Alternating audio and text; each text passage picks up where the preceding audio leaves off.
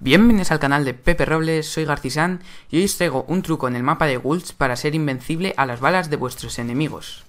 Lo primero que tenéis que hacer es colocaros en esta parte del mapa que está enfrente del puente, eh, en esta parte del río sobre todo porque es donde más profundidad tiene y tumbaros en un lugar donde el agua más o menos os cubra un poco, entonces seréis totalmente invencibles a las balas de vuestros enemigos.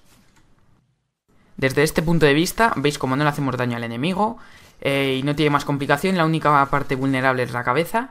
Eh, así que darle las gracias a Pepe Robles por subirlo, eh, darle a like favoritos para que él siga haciendo esto y si queréis suscribiros a mi canal. Hasta la próxima.